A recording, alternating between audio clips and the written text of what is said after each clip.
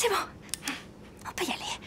Trois rounds. Le sujet les descendants des méchants peuvent-ils être acceptés à Oradon? Et c'est parti Ils ne doivent en aucun cas être acceptés à Oradon. N'oublions pas toutes ces années de paix et de prospérité que nous connaissons depuis qu'ils vivent sur leur île. Ce n'est ni l'heure ni l'endroit. Eh bien, c'est pas aussi simple. Je veux dire, refuser de les accueillir ne me semble pas très... Tu savais qu'à Oradon, deux élèves sur trois ont été victimes d'actes de méchanceté, faux emprisonnement, transformation animale, buisson maléfique et la liste est longue. Oui, eh bien, c'est vrai, le passé n'est pas rose. En fait, il est même noir. Mais c'est le passé, c'est de l'histoire ancienne. Les choses... L'école d'Oradon est fondée sur le principe qu'on ne peut trouver plus grande bonté qu'ici. Bonté, pas méchanceté. Ils ont déjà toute une île pour eux. Doit-on aussi leur donner les clés de notre royaume?